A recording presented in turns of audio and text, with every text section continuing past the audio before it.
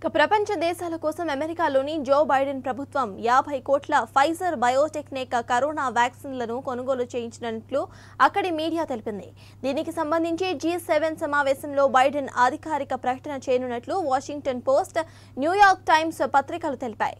ధనిక దేశాలే మెజారిటీ వ్యాక్సిన్లను కొనుగోలు చేశాయని ఆరోపణల నేపథ్యంలో అగ్రరాజ్యం అమెరికా కూడా తీవ్రంగా విమర్శలు ఎదుర్కొంటోంది.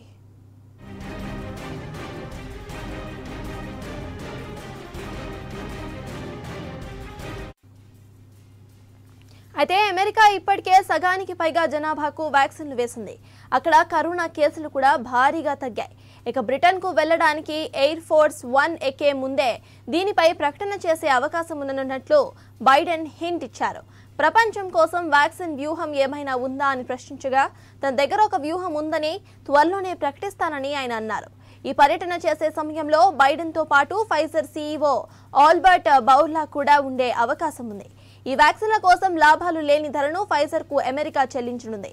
వీటిలో ఇరవై కోట్లను ఈ ఏడాది ముప్పై కోట్లను వచ్చే ఏడాది ప్రపంచ దేశాలకు పంపిణీ చేయనుంది.